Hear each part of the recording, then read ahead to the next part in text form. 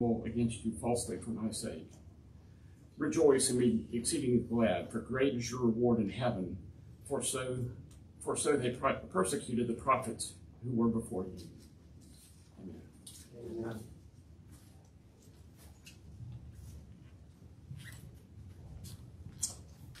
On the church said? Amen. Amen. Let's uh I thank the Lord for Brother Neil and his uh, expertise now. Is just, he said something profound at uh, lesson study, and I said, that's a good sermon line. So, maybe, maybe, maybe. All right. Good morning happy Sabbath. We are coming to you from Irmo Seventh-day Adventist Church here in Columbia, South Carolina, and we wish that you will find peace and comfort and warmth that comes from the Lord. This is the day that the Lord has designed for his people to come and meet together to celebrate that creation week. We acknowledge him that he is the creator and also our redeemer. Amen. So be blessed and uh, may God be with you until he comes. Estamos viniendo de Carolina del Sur, en la ciudad de, de Irmo, y estamos contentos de que usted pueda ser parte de nuestra reunión esta mañana, ya sea que usted lo vea de noche o cualquier día de la semana. Queremos que usted esté seguro de que el Señor está a su lado, que Él no lo deja y que debemos prepararnos para su pronta venida. We are indeed grateful that the Lord has allowed us to see the light of the third Sabbath of this year. Amen. Amen. Amen. God is good. Amen. God is good. Amen. 2024, we will, we will eventually get to that, to that point. Thank you, Brother Neil, for reading that scripture uh, reading. And I debated, I debated uh, how to name this sermon. In our denomination, we have a Sabbath on the, on the first month of the year, January, designated for religious liberty. So we will be talking about some aspects of religious liberty. And probably, probably, it will be something that usually we don't talk about. The fragility of religious liberty. Religious liberty is just like life. Life is fragile. It just, it just takes a little bug, microscopically small, to put you in the hospital. Right? To have a witness. It doesn't take much.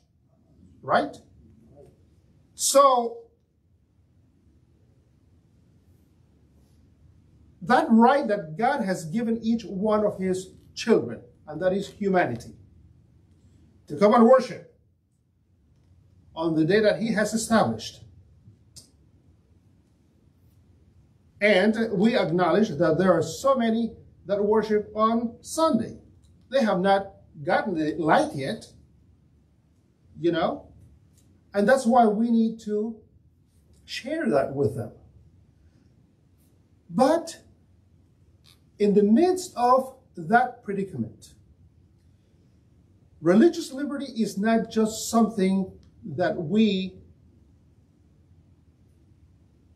sometimes take for granted, I would say. Let us start us off. What happened in heaven? How would you define heaven? I, there are so many verses in the Bible, both Old and New Testament, speaks about heaven. For example, Psalm 73 25, I will just mention some of these. King, uh, King David asks, in fact, it's not King David, let me rephrase that. Asaph, he's the one who wrote that beautiful uh, song, that he was a chief musician, Asaph. And then at the beginning of the chapter, he says that he wondered, I'm just paraphrasing it, is it any good to serve the Lord?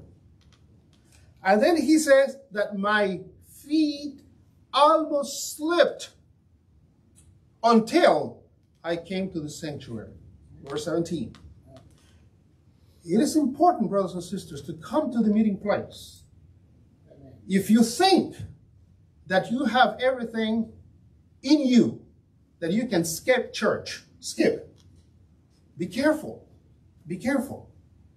But in that Asaph says in verse 25, Whom have I in heaven but you? So we know that God is in heaven. Isaiah 6 1, the prophet said, In the year that King Uzziah died, I saw the Lord sitting on a throne, high and lifted up. And the train of his robe filled the temple. Again, Psalm 16, uh, verse 11. This is King David now. In your presence there is fullness of joy. At your right hand are pleasures.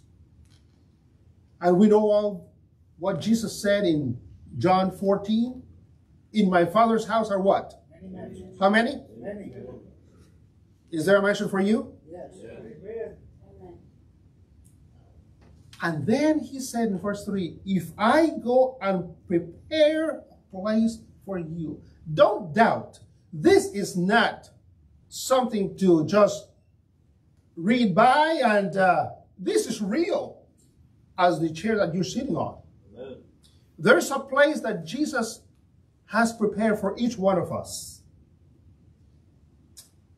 Also, we're talking about heaven.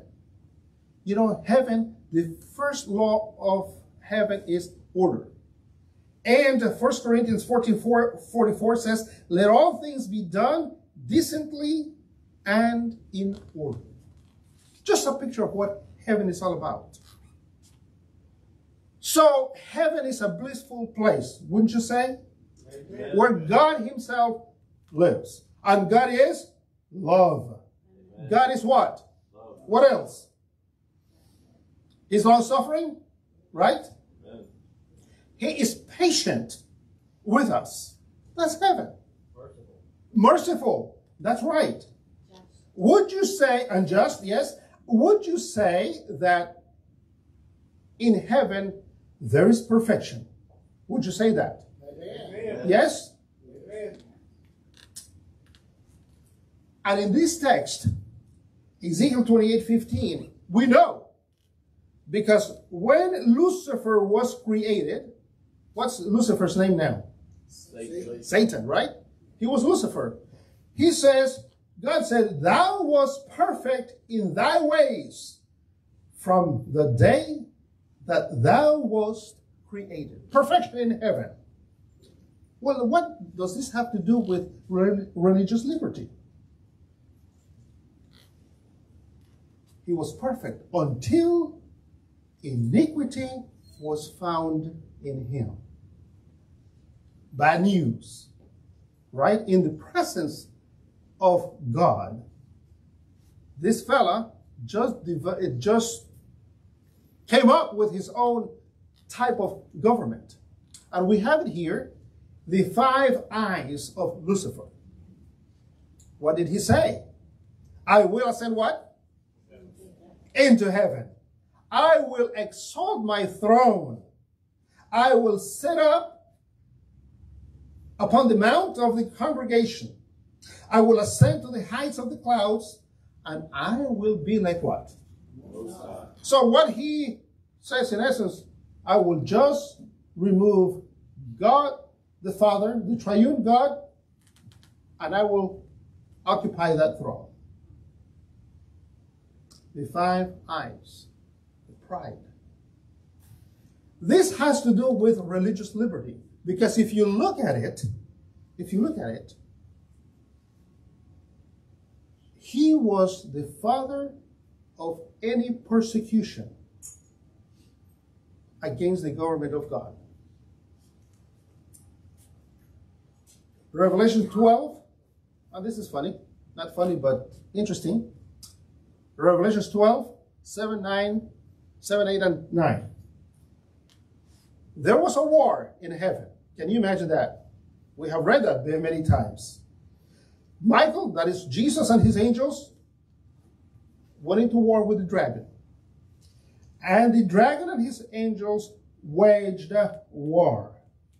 But the good news is that they did not prevail. Why? Amen. Why?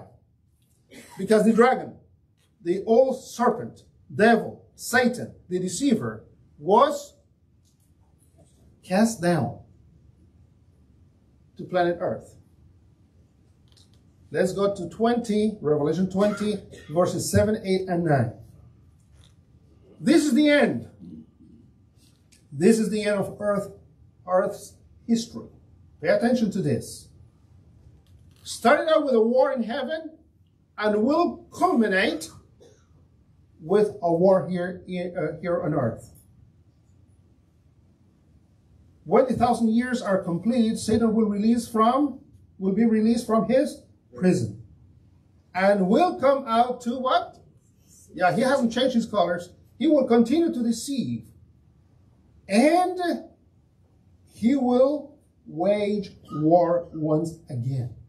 But again, just, just like he was defeated in heaven, he will be defeated once and for all. Because when he does that, fire will come from heaven Amen. and will destroy Satan and his evil angels and anyone, human being, that had the opportunity to side with Jesus but refused to. It is a matter of choice, folks. And we made some comments in the Sabbath school lesson that if I am not in the city, obviously I will be out in the city. But whose fault will that be? We have said it many times. Whose fault will that be? Satan's fault? Uh, exactly right. So what should we do, folks, in 2024? Align ourselves with the plan of God. There's life. I wish, I wish you would choose life, he says, God. Don't choose death.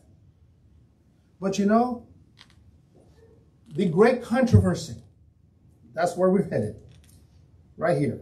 The great controversy that began in heaven will end right in that very day. When Satan will come and deceive all the nations and they will march up to the holy city. And the saints, and I hope that each one of us are in the city. Amen. And uh, that will be the end of the great controversy between good and evil, between God and Satan, once and for all. Nahum 1 9 says that God cannot take any chances because sin will not arise a second time. Amen. Once and for all. So, why? Why do I delay in changing habits, in conforming to the will of God? There's a good reason for that. Because the great controversy is being fought in each one of our hearts. And every second of the day, we are taking decisions for or against Jesus.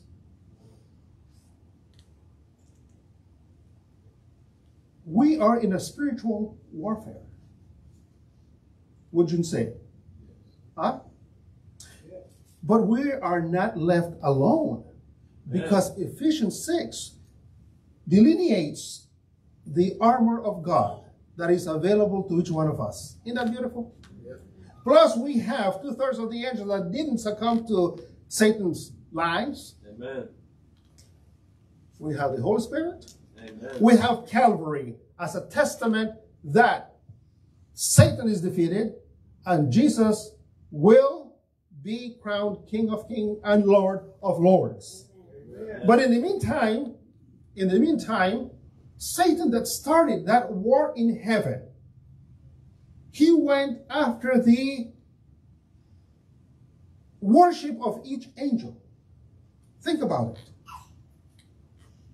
He started that religious persecution right in heaven to a point that he had almost gotten half of the angels. But the Bible says that one third of the angels came down with him. We don't know how many that is. In the millions, probably. He attempted and he was successful with one third of the angels. Religious liberty. He told them, how? What God had said, don't buy into that. My plan is better. My plan is better. And that lie has perpetuated until today, January 20, 2024. Still. But thank God that the Holy Spirit has not left us yet. He's still working in the hearts of souls, finding out the truth. And that is where you and I need to get very, very active because if not, we will be responsible. We are responsible. If you don't believe me, go back. I have shown you several times. Go back and read Ezekiel chapter 33. What is the, uh, what is the responsibility of us as Christians? Is it easy? Is it easy to be a Christian? Huh? Is it? Is it easy to be a Christian? You know, we are told that the first place where the name Christian was mentioned was in Antioch. Now that's part of Turkey. But that city was established by Greeks, and it was a very, very flourishing city. Trade, commerce, you name it. But one thing is that, it, that, that those folks in Antioch, they had something.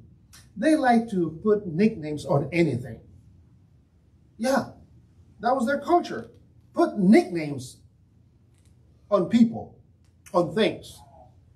But when these folks came from Jerusalem, who were those folks? Saints that were fleeing persecution. And they established themselves right there in Antioch. The folks said, wait a minute, there's a new brand of folks that have come here. Who are they? And they started to pay attention to them, and they have heard about there was a man named Jesus and Christ. And they said, no, these folks are what? Christianoi. Christianoi. That's how they baptized them with that name. That group of people new to them. Christianoi. It is not easy to be a Christian, even in South Carolina right now. You remember the experience of Thomas, one of the disciples? When he was told, we have, the Lord is alive and well, and what did he say?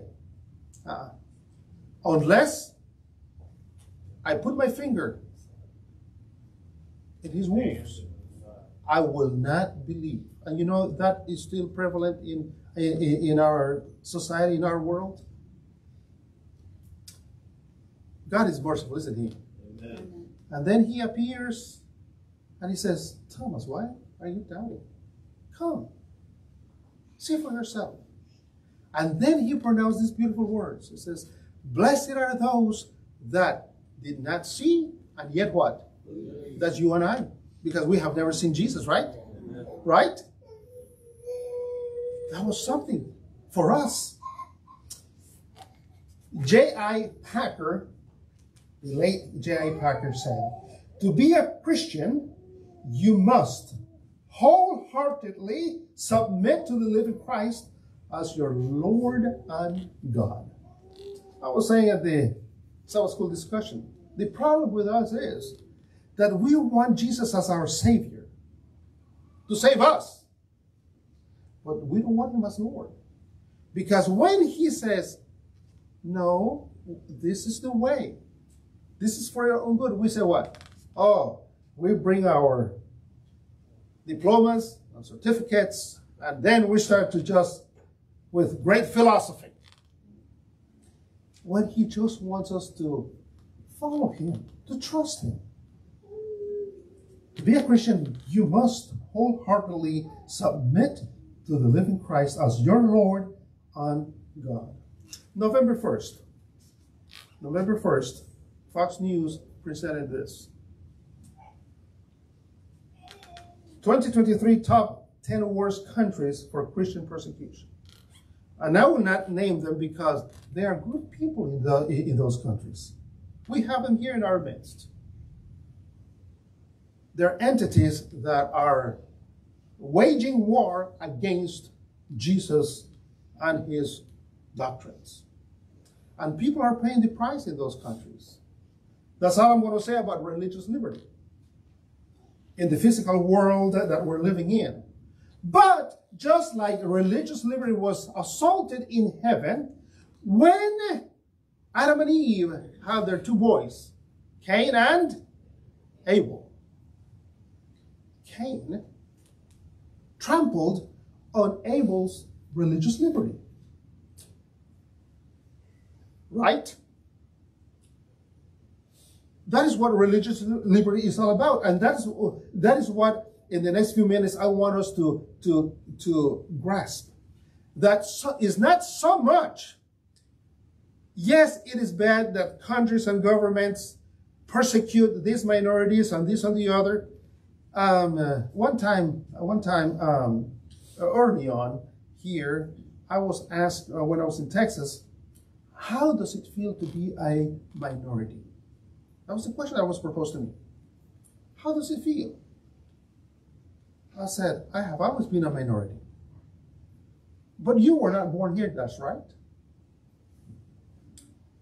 But even back in Latin America, I have always been a minority, even in my own country, because of my biblical beliefs even a minority, even among kinfolk. So let's not get too hung up on the government persecuting. Yes, that is true. But what about religious liberty being trampled by me against you? And that's what I want us to talk about. What happened to Abel? He decided wholeheartedly to follow God's commands. Didn't he? Amen. And church goer brother that grew up in Sabbath school and everything, he decided to go rogue. And what was the end result? He went and annihilated his own, his baby brother. Could that be happening amongst us? Think about it. The Apostle Paul, we know his story, his conversion. But then, in to the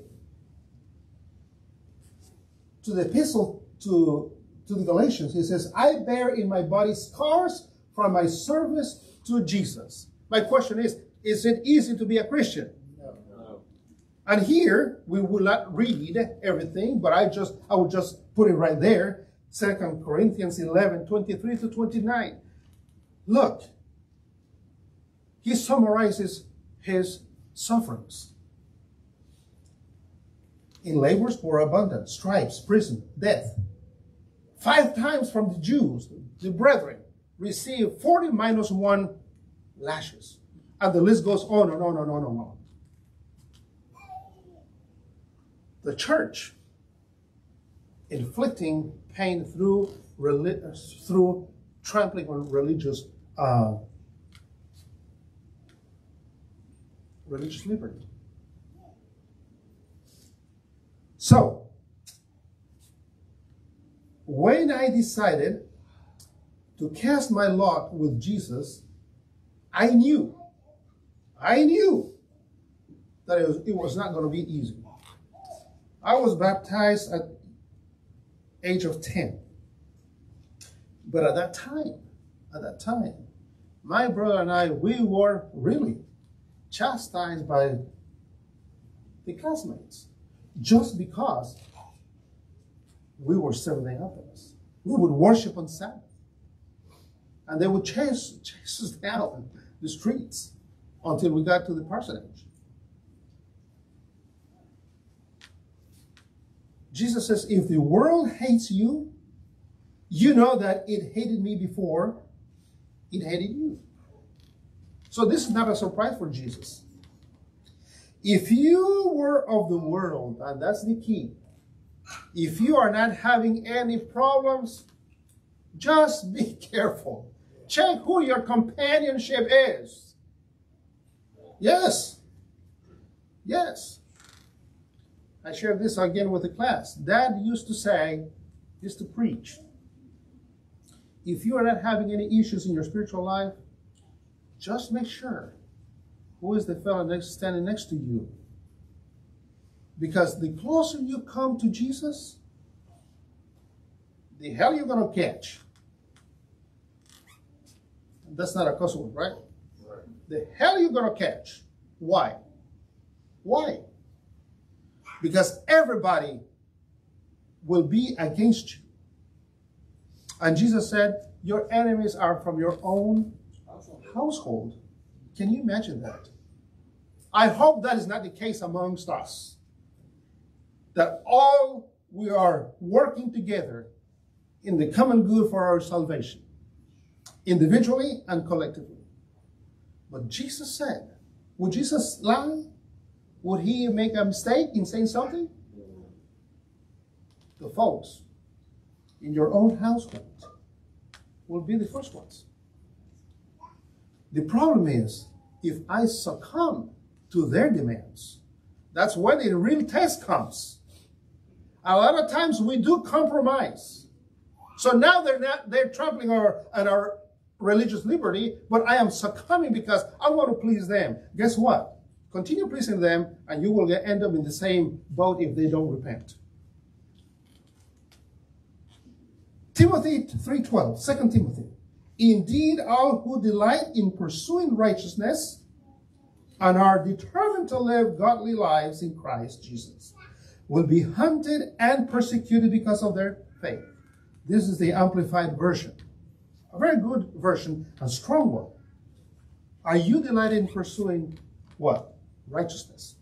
Do you desire to live godly life? Be prepared. Be prepared. Now, let me show you what happened to our Lord and Savior.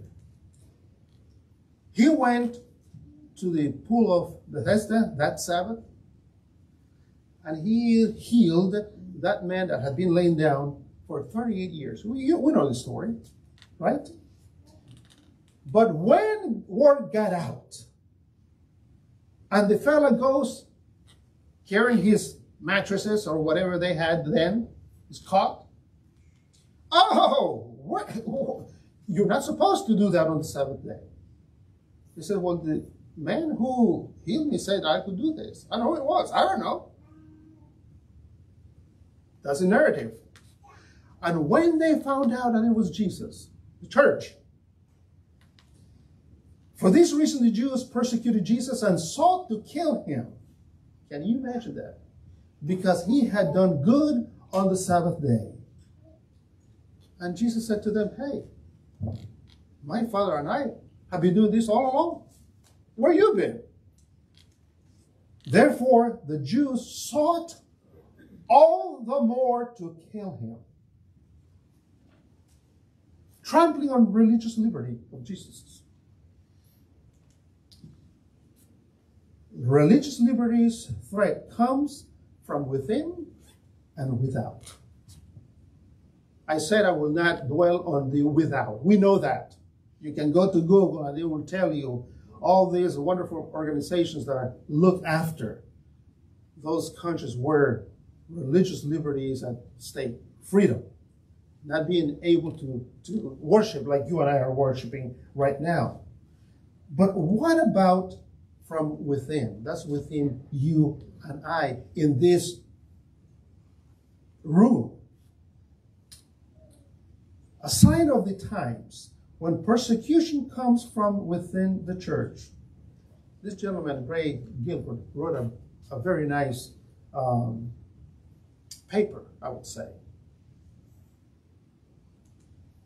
Could you, could you imagine that amongst ourselves we would be used by Satan to trample on your religious liberty?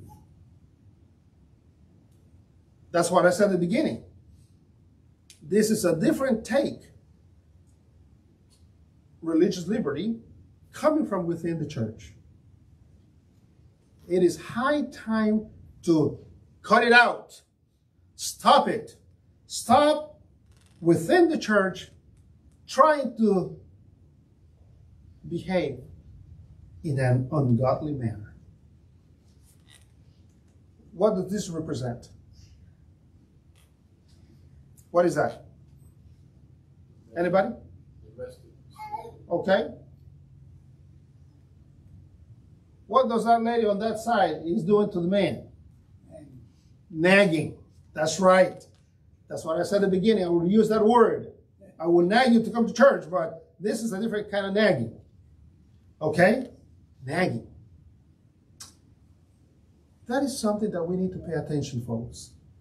And I have been concerned for the past 20 something years, and more recently, because it has touched our family, about folks not coming with the decency to thank the Lord because He gave me a roof. He gave me transportation. He gave me food. He gave me health. He gave me life. Amen. But instead, going to church and finding out who can I nag. Sister Karen, this might not, uh, this might be news for you, but that is the reality in every church, every congregation. And we need to put an end to it because nobody has the right to nag about something in the church. We have procedures. We have bylaws that we can come together.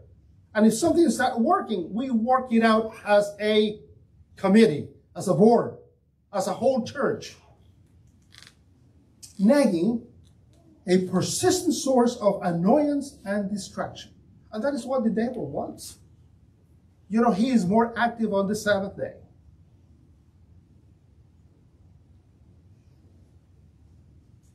Distract you from listening to the things that we ought to. Nagging, troublesome, badgering, distressing, relentless, constant scolding. Who told you that you can scold anybody around here? Even Jesus doesn't do that. Right? He just tells it like it is. But he is not. The only thing he does is what? He knocks at the door of your heart. If I am willing to listen to him, says, open up the door and he will come in. That's all he does. We need to. We need to stop that behavior because it robs the Christian experience. The late Charles Bradford, Elder Charles Bradford, used to say, on the Sabbath day, don't pick up gravel and throw it on the people's face. I don't have the authority or the uh, command from no one to come and chastise you. I am chastising myself as it is. Because everybody here can be that person to disrupt, to destroy, to distract you in your religious liberty experience when you come to church. So, folks, we need to pay attention to what the Lord says. What does the Lord say? I love this translation. If possible, Romans 12 18. If possible, so far as it depends on you, on me, live in shalom with all people. Shalom, we all know that is what? That's where our brethren in Israel, they say Shabbat, Shalom. Peaceful rest. Happy Sabbath. That's what it is. We are admonished. Do everything we can to live in, in peace. A lot of times, a lot of times we don't, I have a policy. Let me put it this way. I have a policy for several decades that whatever happens at home stays in the parking lot of the hospital, right there. And uh, whatever happened at the hospital stays right there in the driveway. Because why would my wife and the kids uh, need to be harassed? Needs to be need to be nagged for something that happened at the hospital my workplace, if it does happen. Why? So just let, let, let, let's take this in religious liberty. Have a little, a little time out there with Jesus. I said, Lord, I don't feel like, but you know, help me control my mouth. Help me control my deportment. Let me control my actions because I don't want to infringe on the religious liberty that you have given my brother and my sister. In other words, do not, let us not replicate, replicate Satan's antics. Replicate is not duplicate. Is replicate. Let us not. Let us not. Enough is enough. This world is coming to an end.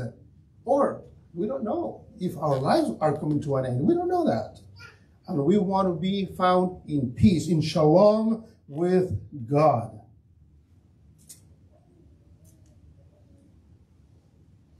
If you fear of anything, the Lord says, do not fear, for I am with you. Do not be dismayed, for I am your God. I will what? Strengthen you and help you. I will uphold you with my righteous hand. If you and I are really, really struggling that we cannot control ourselves, the Lord is faithful and just to help us out. To help us out.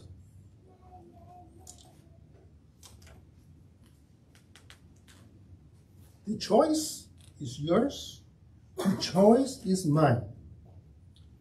There's only two ways, folks. Only two ways. What way will we choose?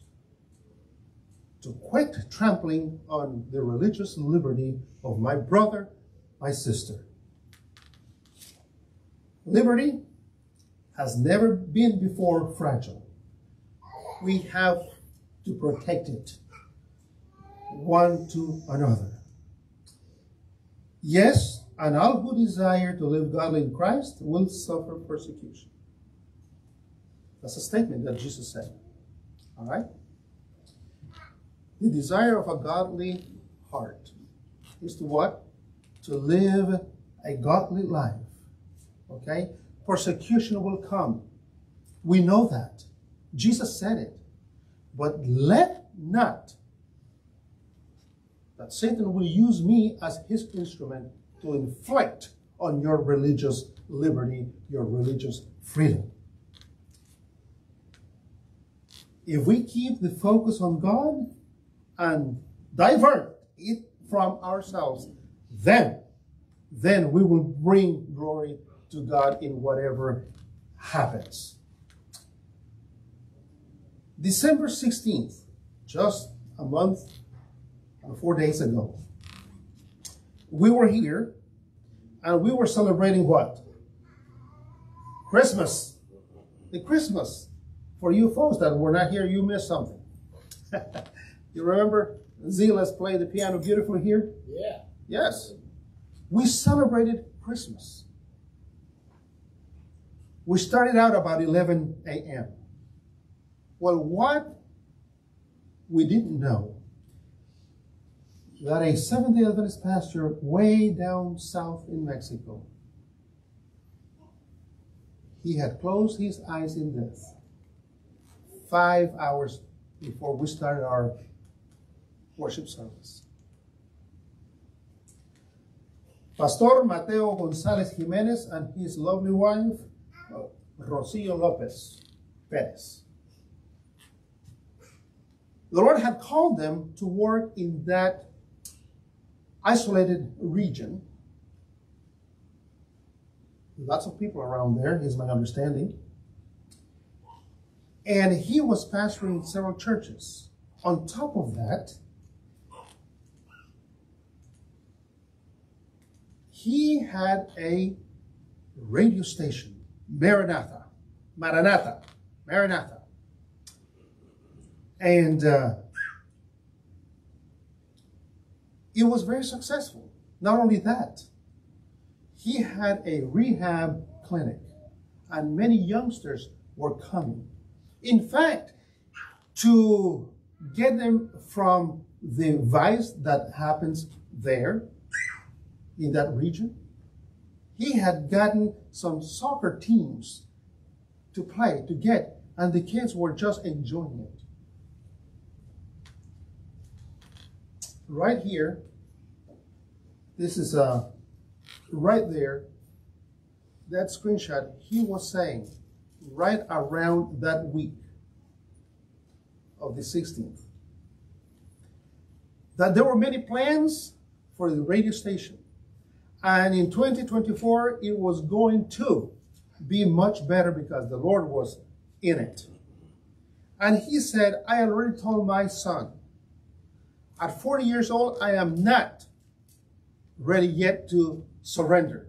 I will continue. And I am hoping to see the light of 2024. But if not, I will be okay with the Lord. And he was just broadcasting this. And I cut it right there where he says, I talked to my son without knowing that just a few days later, on the Sabbath day, several men came to his house and uh, he and his wife uh, died there.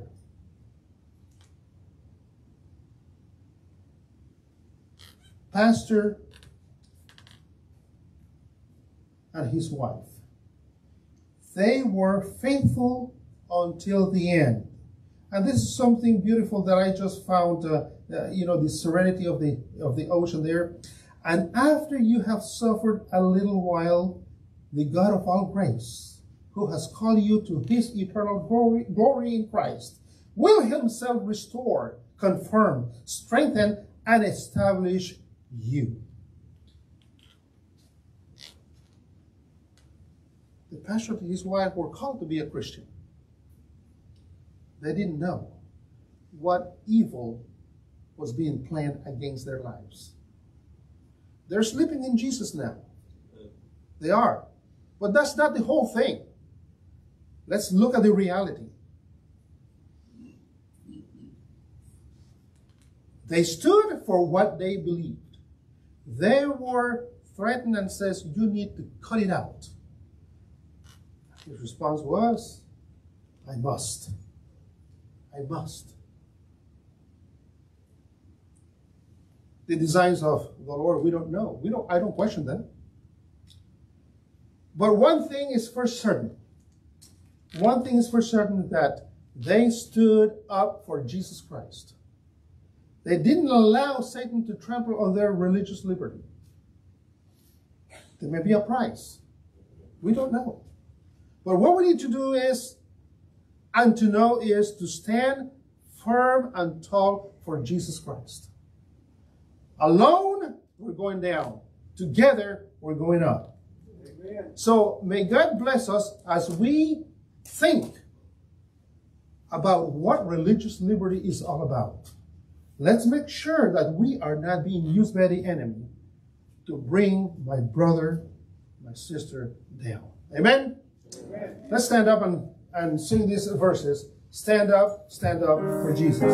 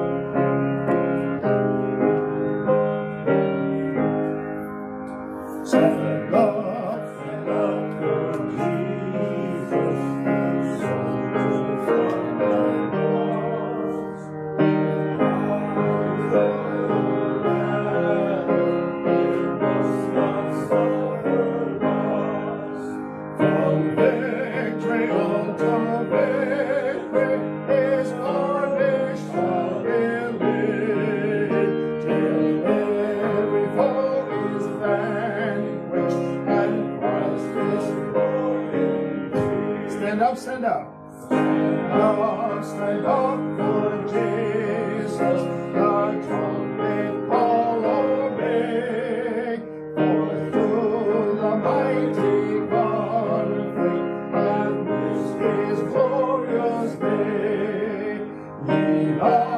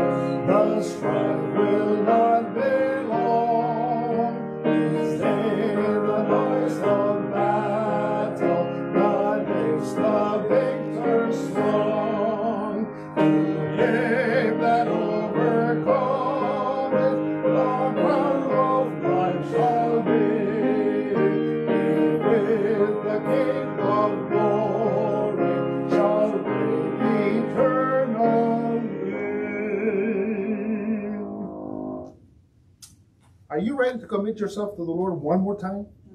Amen. Huh? Yeah. Folks, those of you that have been in the army, you know that battle is not a joke. It's just for the strong and the brave. With Jesus as our captain, we are more than conquerors. It doesn't matter what happens. But if we have our life surrendered to Him, we will not be destroyed. Heavenly Father, we thank you, Lord, for this topic that had to be said to each one of us. Time is ebbing away, and we want to be found faithful as a faithful soldier in your army. You have showed us the way, you have paved the way, how we ought to talk, how we ought to act. So give us the strength, Lord. And you, you I know you do. With the Holy Spirit in us, we will be more conquerors because Jesus has won it all. In him we do pray. Amen. Amen.